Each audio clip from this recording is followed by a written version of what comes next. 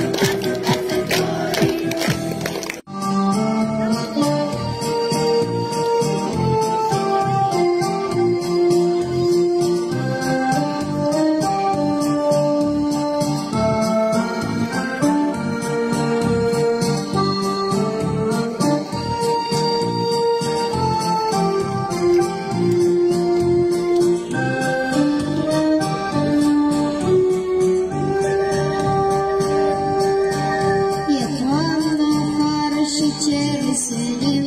Prin ori plutesc cu